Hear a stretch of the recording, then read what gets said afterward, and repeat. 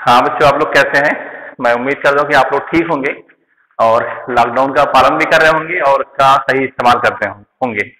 और सही इस्तेमाल करना उसका के लिए हमारा एक ज़रूरी मकसद भी है क्योंकि अब तो क्लास चल नहीं रही तो ऑनलाइन क्लास चल रही है। उस ऑनलाइन क्लास से आप अपना फ़ायदा उठाते उठा, उठाते रहिए और टाइम का सही से क्या हुआ उपयोग करते रहिए। तो अब जो है और कुछ बात ना करते हुए अपनी टॉपिक को मैं क्लियर करता हूँ। आज मैं बात हूँ क्लास नाइन्थ में difference between manure and fertiliser मतलब जो मैनुअर और फर्टिलाइज़र होता है, उन दोनों में डिफरेंस क्या क्या होता है? तो एक तरफ़ क्या हुआ? मैंने मैनुअर लिख दिया, और दूसरी तरफ़ क्या हुआ? फर्टिलाइज़र लिख दिया। अब होती बात होती कि मैनुअर में पहला डिफरेंस क्या होगा? मैनुअर क्या होता है आपका? मैनुअर क्या होगा? आपका नेचुरल सब्सटेंस होता है। मैनुअर क्या होगा? एक नेचुरल सब्सटेंस होगा। ठीक है? नेचुरल सब्सटेंस होता है, और ये जो नेचुरल सब्सटेंस बनता है decomposition of decomposition of waste decomposition of waste इस वेस्ट में आपका क्या हुआ? यहाँ पे एनिमल भी हो सकता है आपका। एनिमल वेस्ट हो जाएगा। और उसके साथ साथ क्या हुआ? Household waste household waste ठीक है? क्या हुआ डिकम्पोजिशन ऑफ़ एनिमल वेस्ट और हाउस होल्ड वेस्ट आप पढ़ चुके हैं पिछले वीडियो में। एनिमल वेस्ट में क्या हुआ? जैसे मैं कहा एनिमल का डंक हो गया यूरिन हो गया, उसका लिटर मीन वेडिंग मटेरियल और हाउस होल्ड वेस्ट में क्या होगा? जैसे हम घर का जो आपका वेस्ट होता है, जैसे हम सब्ज़ी कुक करते हैं तो उसका जो पील होता है या उससे रिलेटेड और भी जो वेस्ट उसको कलेक्ट किया और कलेक्ट करने के बाद उसका डिकम्पोजिशन होगा by using of micro organism तो ये क्या आपका नेचुरल सब्सटेंस होगा? अब ये नेचुरल सब्सटेंस जो बनेगा ऐसा डिकम्पोजिशन ऑफ़ वेस्ट इसमें वेस्ट में क्या एनिमल वेस्ट रहेगा और हाउस होल्ड वेस्ट मैं कहा एनिमल वेस्ट में क्या होगा? एनिमल वेस्ट में आपका उसका डंक लिटर यूरी और आपका बेडिंग मटेरियल मीन्स लिटर में उसी को बोलते हैं बेडिंग मटेरियल और हाउस होल्ड में हाउस होल्ड वेस्ट में होगा कि जो हम वेजिटेबल या कुक करते हैं वेजिटेबल को कुक करते हैं, इसका वेस्ट पार्ट क्या हुआ? रिमूव कर देते हैं, जैसे लाइक टी तो इन सबको कलेक्ट किया कलेक्ट बाद उसका डिकम्पोजिशन हो गया ब्रेक हो गया, और ब्रेक होने के बाद जो बनेगा वो हमारा क्या हुआ? मैनुअर होगा। लेकिन फर्टिलाइज़र में क्या होता है? फर्टिलाइज़र क्या हुआ? या तो केमिकल सब्सटेंस हो सकता है केमिकल सब्सटेंस ठीक है यह आपका ऑर्गेनिक ऑर्गेनिक ऑर्गेनिक सब्सटेंस ठीक है? केमिकल सब्सटेंस वास्तव में क्या हुआ? Ammonium sulphate ammonium sulphate ammonium sulphate ठीक है? और ऑर्गेनिक सब्सटेंस में यूरिया ये क्या केमिकल सब्सटेंस या ऑर्गेनिक सब्सटेंस से बना होता है। ठीक है? और मतलब ये कहूँ जो केमिकल सब्सटेंस या ऑर्गेनिक सब्सटेंस बना होता है ये ह्यूमन मेड मतलब ह्यूमन के द्वारा इसको डेवलप किया जाता है। लेकिन आपका ये जो है, ये नेचुरल प्रोसेस से बनेगा, ये आपका जो बनेगा आर्टिफिशियल प्रोसेस से बनेगा कौन फर्टिलाइज़र तो फर्टिलाइज़र जो आपका केमिकल सब्सटेंस होता है, या तो ऑर्गेनिक सब्सटेंस होगा, और जो बनेगा वो आपका आर्टिफिशियल प्रोसेस मतलब वो बनेगा कहाँ पे? फैक्ट्री में बनेगा। लेकिन ये आपका कहाँ बनता है? फ़ील्ड में। तो आपका ये बनेगा फ़ील्ड में, और ये बनेगा आपका फैक्ट्री में बनेगा। दूसरी बात क्या होगा? दूसरा डिफरेंस क्या होता है? मैनुअल जो होता है, manual manual are not nutrient specific. Nutrient specific और नॉट न्यूट्रिएंट स्पेसिफिक। स्पेसिफिक। जबकि फर्टिलाइज़र क्या होता है, ये आपका न्यूट्रिएंट स्पेसिफिक होता है। न्यूट्रिएंट स्पेसिफिक होता है। ठीक है? मतलब आप जो मैनुअल को ऐड कर रहे हैं, अब मैं सोचू कि जैसे मैं मैनुअल को मैनुअल में कहा फार्म यार्ड मैनुअल में बात करें यहाँ पे? Farmyard farmyard manual Y F Y M तो फार्म यार्ड मैनुअल में क्या हुआ? मुझे, क्या मुझे मिलेगा? नाइट्रोजन फॉस्फोरस एंड पोटेशियम ये मिलेगा। लेकिन मैं यूरिया की बात करूँ। यूरिया ठीक है? यूरिया इससे क्या हुआ? नाइट्रोजन क्या हुआ? न्यूट्रिएंट मिलेगा। तो ये क्या हुआ? न्यूट्रिएंट मिलेगा। तो मैं बात यहाँ पे कहूँ कि यूरिया नाइट्रोजन न्यूट्रिएंट देता है। तो यहाँ पे यूरिया क्या हुआ? नाइट्रोजन स्पेसिफिक न्यूट्रिएंट हो जाएगा। लेकिन मैनुअर में ऐसा नहीं होता है। ठीक है? ये तो दूसरा डिफरेंस हो गया। मतलब ये आपका मैनुअल जो होता है न्यूट्रिएंट स्पेसिफिक नहीं होता है, जबकि आपका फर्टिलाइज़र क्या होता है, वो आपका न्यूट्रिएंट स्पेसिफिक होता है। ठीक है? तीसरा डिफरेंस क्या होगा? फर्टिलाइज़र क्या हुआ? सॉरी मैनुअर में नेक्स्ट डिफरेंस जो होगा कि मैनुअर क्या करेगा? मैनुअर जो होगा, वो स्लोली क्या हुआ? रिलीज़ होता है मतलब यहाँ पे slowly absorb slowly absorb by the root root of plant plant across हो मतलब यहाँ पे slowly absorb by the root of plant जो आपका मैनुअल मैंने ऐड किया, उस मैनुअल में जो भी आपका न्यूट्रिएंट होंगे, वो न्यूट्रिएंट वहाँ से क्या हुआ? रिलीज़ होकर के प्लांट की जो रूट होगी, उससे जो एब्जॉर्ब करेंगे, वो स्लोली एब्जॉर्ब होंगे। मैं कहा कि जो मैनुअल में आपका न्यूट्रिएंट्स होंगे, वो स्लोली रिलीज़ होंगे और वहाँ पे जो एब्जॉर्प्शन होगा, वो एब्जॉर्प्शन रेट भी क्या होता है? स्लो होता है। किसमें? ये कंडीशन किसमें पाया थी मैनुअल में पाया थी। तो रिपीट में कर दे रहा हूँ। मैनुअल मैंने कहा कि मैनुअल में जो आपका न्यूट्रिएंट होगा, वो स्लोली क्या रिलीज़ होता है और इसी के साथ साथ वो एब्जॉर्प्शन जो रेट होगा रूट ऑफ़ प्लांट के द्वारा वो क्या होगा? स्लो होगा। लेकिन आपका फर्टिलाइज़र में ऐसा नहीं होता है। फर्टिलाइज़र में क्या होता है?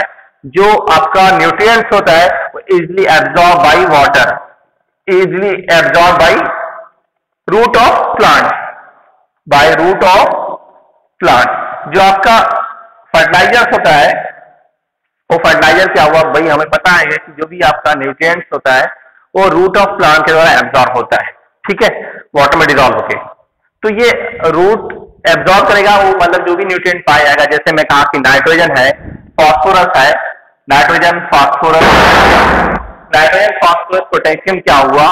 रूट के द्वारा आसानी से इजिली क्या होगा? एब्जॉर्ब हो जाएगा। किसमें ये कंडीशन पाई जाएगी? फर्टिलाइज़र में पाई जाएगी। नेक्स्ट डिफरेंस क्या होगा? इसमें क्या होगा? इनकन्वीनियंट होगा। इनकन्वीनियंट इनकन्वीनियंट टू होल्ड ठीक है? मतलब इसको क्या हुआ? होल्ड करने में इसमें इनकन्वीनियंट होगी। मीन्स क्या हुआ? प्रॉब्लम होगी। क्यों? क्योंकि क्या हुआ? बिग होता है। ठीक है? बिग एंड वॉल्यूमिनस वॉल्यूमिनस मतलब ये बड़ा भारी भरकम होता है।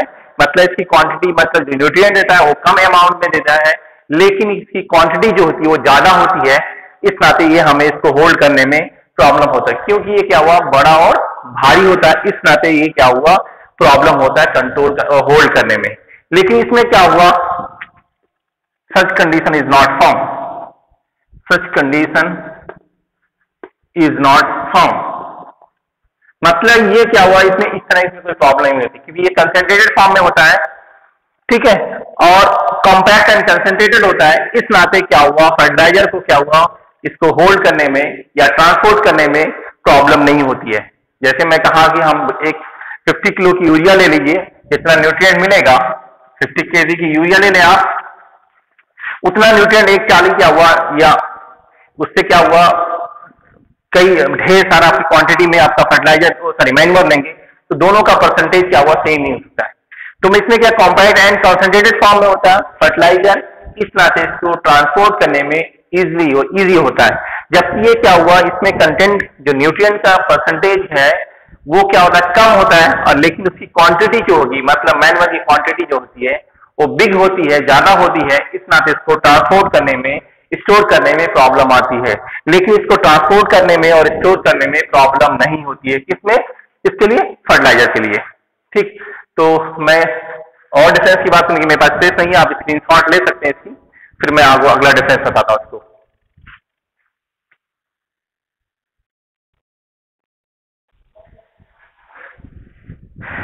ठीक है, फिर मैं अगले डिफरेंस की बात में करूँ यहाँ पे। इसकी स्क्रीन शॉट ले लिए होंगे, मैं इसको मिटा देता हूँ उसके बाद मैं नेक्स्ट डिफरेंस की बात करता हूँ।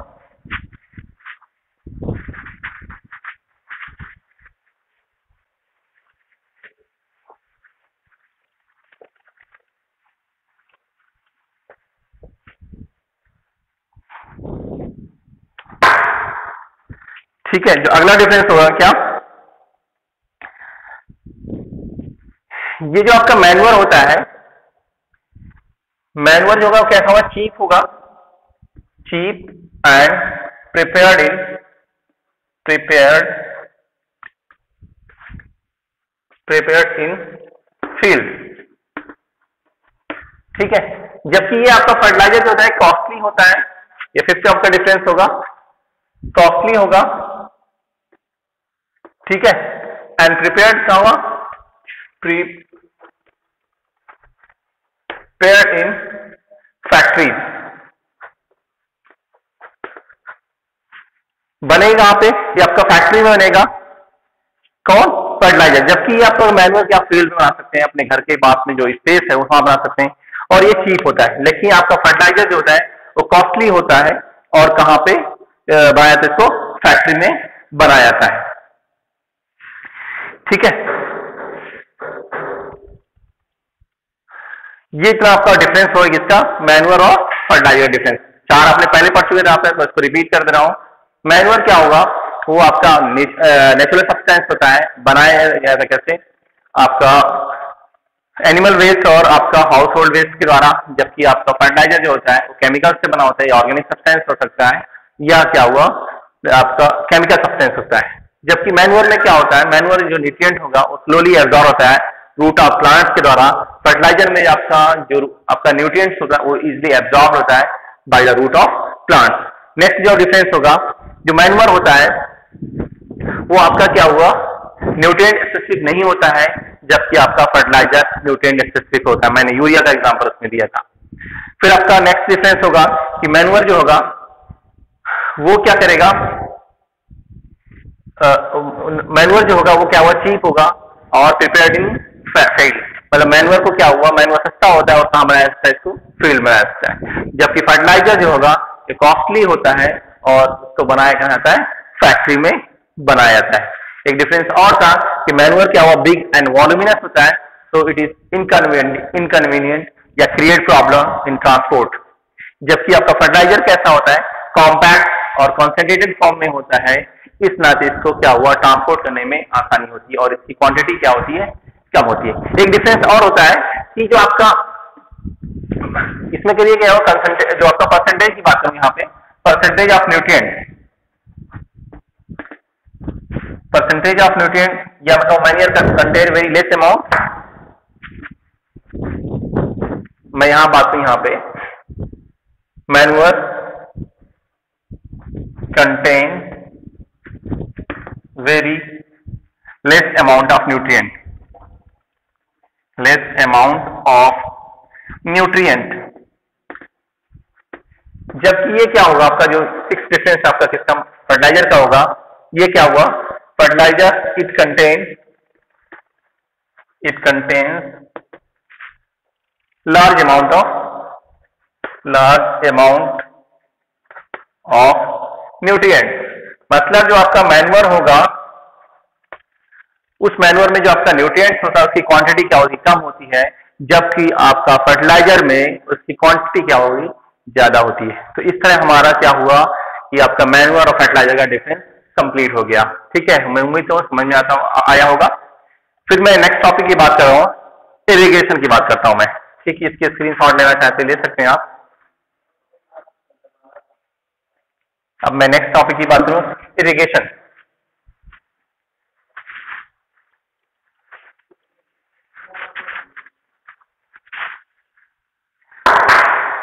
नेक्स्ट क्या होगा?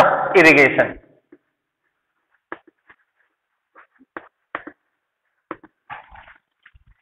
इरिगेशन क्या होता है? इसको पहले थोड़ा सा मैं इरिगेशन सब लोग जानते हैं भाई सिंचाई कहते हैं। भाई हम क्या खेत में पानी को सप्लाई कर देना? भाई प्लांट जो भी ग्रो आपका ग्रो कर रहा है, उसमें पानी को क्या वो ऐड कर देना सप्लाई कर देना। क्या कहलाता है आपका? इरिगेशन जैसे देखा होगा आपने, जब हम भी कभी भी आपका अभी कुछ महीने के बाद हम पैडी की क्या सोइंग करेंगे? तो पहले हम खेत में क्या करेंगे?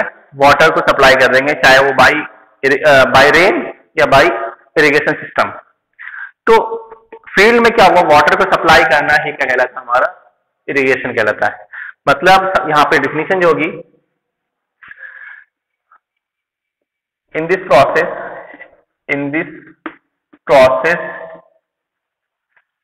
supply to the water supply to water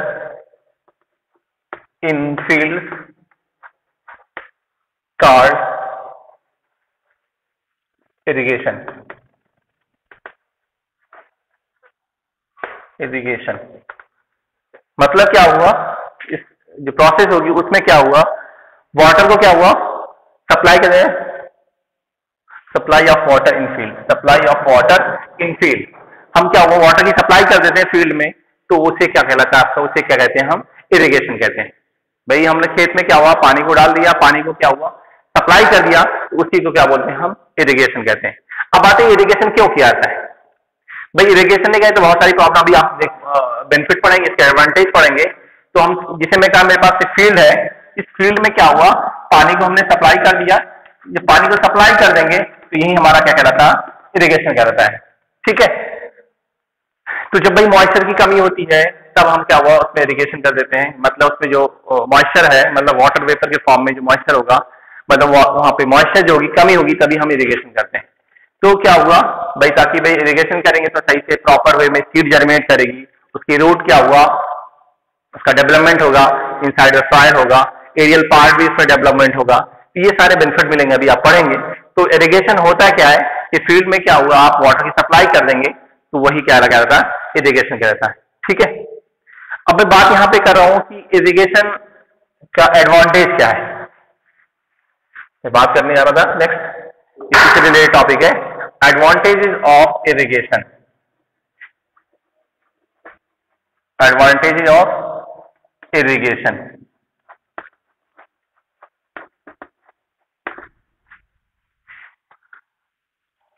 पहला एडवांटेज क्या हुआ?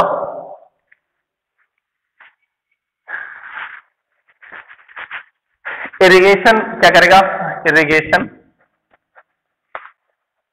irrigation help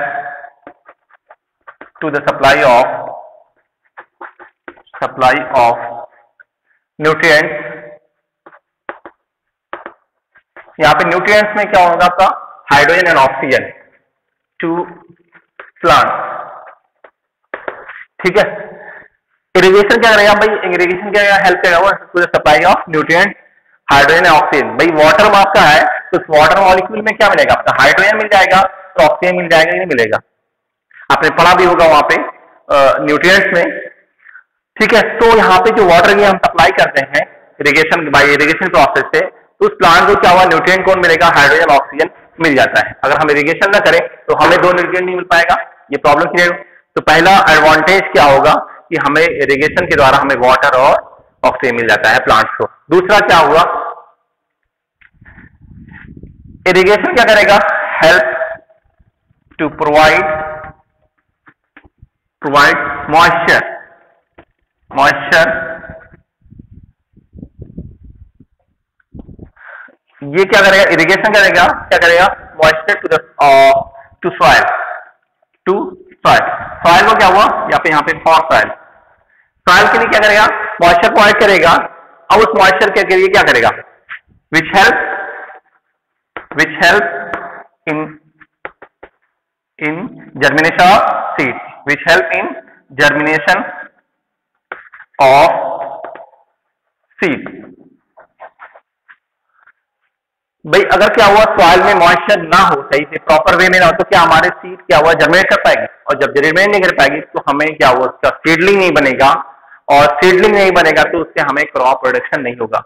इसमें देखा होगा, जो भी हम फ़ील्ड को, जो उसमें प्लाउजिंग करते हैं तो प्लाउजिंग के बाद, या हम टाइम टू टाइम क्या होगा, उसमें इरिगेशन करते हैं। तो मैंने कहा सीड तो होने से पहले उसमें क्या हुआ, उसकी मॉइस्चर को हम देख लेते हैं। भाई मॉइस्चर की कमी होगी तो हम इरिगेशन कर देंगे। इरिगेशन के द्वारा क्या हुआ, या इरिगेशन के द्वारा, या रेनफॉल के द्वारा हमें उसकी क्या हुआ मॉइस्चर की जो क्वांटिटी है, उसको इंक्रीज हो जाएगी। अगर मॉइस्चर नहीं है मतलब सॉइल कैसी हो ड्राई सॉइल हो तो प्लांट जो सीड हमने शो किया, वो जर्मिनेट नहीं कर पाएगी और जब जर्मिनेट नहीं होगी तो वो क्या होगा? प्लांट ग्रोथ नहीं कर पाए तो ये इरिगेशन के द्वारा हम क्या मॉइस्चर को प्रोवाइड करेंगे किस सॉइल को और उससे क्या हुआ? हेल्प किसमें करेगा? Which help in germination of seed ठीक है? दूसरा देखिए एडवांटेज क्या हुआ ये क्या करेगा absorption of nutrient absorption of absorption of nutrient मतलब इरिगेशन के द्वारा क्या होगा? इरिगेशन के द्वारा क्या करेगा? कि हम जो भी न्यूट्रिएंट का क्या करेंगे? एब्जॉर्प्शन होगा। भाई, जो भी न्यूट्रिएंट है, वो प्लांट क्या डायरेक्टली एब्जॉर्ब तो कर नहीं सकती है। वो वाटर में डिजॉल्व हो जाएगा और डिजॉल्व होने के बाद क्या हुआ? रूट क्या करेगा? उस न्यूट्रिएंट को एब्जॉर्ब कर लेगा। तो हम इरिगेशन करेंगे तो जब इरिगेशन करेंगे, तभी तो क्या होगा? वो वाटर में न्यूट्रिएंट डिजोल्व हो पाएगा ना? जब डिजोल्व होगा, तभी तो प्लांट की रूट क्या करेगा? उसको एब्जॉर्ब करेगा। तो हम क्या हुआ? नेक्स्ट बेनिफिट क्या मिलेगा हमें? कि एब्जॉर्प्शन ऑफ़ न्यूट्रिएंट में हेल्प करेगा क्या? इरिगेशन देखिए नेक्स्ट डिफरेंस नेक्स्ट बेनिफिट क्या होगा? एडवांटेज क्या हुआ? Irrigation help irrigation help to growth and development of development of root root of plant. Root of plant जो प्लांट की रूट्स है, वो प्लांट की रूट क्या हुआ? जब उसमें क्या हुआ? वाटर इरिगेशन करेंगे तो क्या सॉइल क्या मॉइस्ट होगी? और रूट क्या हुआ? सही से प्रॉपर वे में इनसाइड ऑफ़ सॉइल वो क्या हुआ? ग्रोथ करेगी। भाई इनसाइड ऑफ़ सॉइल क्या ग्रोथ करेगी। तो भाई, जब रूट ज़्यादा अंदर जाएगी, तभी तो उसको वाटर क्या एब्जॉर्ब कर पाएगा।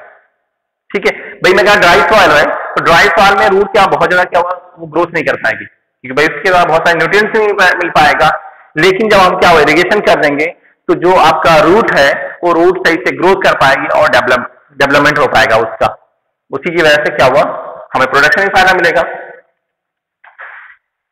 दूसरा क्या होगा इरिगेशन क्या करेगा? Irrigation help to increase increase number of number of aerial part aerial part of plant भाई क्या करेगा? इरिगेशन के द्वारा हम जो आपका उसका भाई इरिगेशन सही से होगा तो न्यूट्रिएंट सही से मिलेगा। और न्यूट्रिएंट सही से मिलेगा तो उसमें जो आपका एरियल पार्ट है मतलब जो सॉइल के अपर वाला पार्ट है, वो सही से ग्रोथ करेगा, उसके नंबर बढ़ेंगे, उसमें ब्रांचेज बनेंगे। और जब ब्रांचेज ज़्यादा होंगे तो उसमें क्या फ्रूट ज़्यादा बियर करेगा, ज़्यादा फ्रूट उसमें प्रोडक्शन होगा। और फ्रूट प्रोडक्शन ज़्यादा होने की वजह से क्या होगा, उसका क्रॉप प्रोडक्शन ज़्यादा होगा। तो ये भी क्या होगा, एक बेनिफिट क्या होगा, रहेगा। जो एरियल पार्ट है, उस एरियल पार्ट का नंबर क्या होगा इंक्रीज हो जाएगा। और जब एरियल पार्ट का नंबर इंक्रीज होगा तो उसकी वजह से उसका क्रॉप प्रोडक्शन बढ़ जाएगा। ठीक है? तो आपका ये हो गया पाँच डिफरेंस हो गया। ठीक है? तो बस इतना ही आपका इस एडवांटेज ऑफ़ इरिगेशन यहाँ पे हेडिंग छूट गई। एडवांटेजेस एडवांटेजेज ऑफ़ इरिगेशन ठीक है? तो उम्मीद करता हूँ कि आपको ये समझ में आई होगी। अगर आपको कोई प्रॉब्लम होगी तो आप व्हाट्सएप पे, ठीक है? जो ग्रुप का व्हाट्सएप नंबर व्हाट्सएप ग्रुप है, या पर्सनल नंबर पे व्हाट्सएप कर सकते हैं। और इसकी स्क्रीनशॉट आप ले सकते हैं।